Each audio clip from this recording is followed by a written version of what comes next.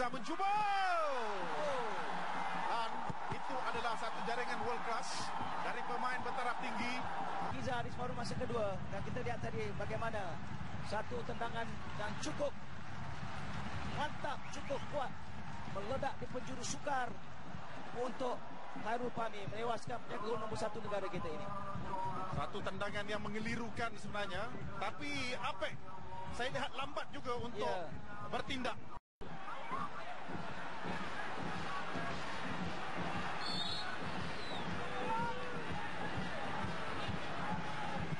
Giza mencuba. Dan itu adalah satu jaringan world class dari pemain bertaraf tinggi. Giza di separuh masa kedua dan kita lihat tadi bagaimana satu tendangan yang cukup mantap, cukup kuat meledak di penjuru sukar untuk Khairul Pami melewaskan penjaga gol nombor satu negara kita ini. Satu tendangan yang mengelirukan sebenarnya, tapi Apek saya lihat lambat juga untuk Ya. bertindak.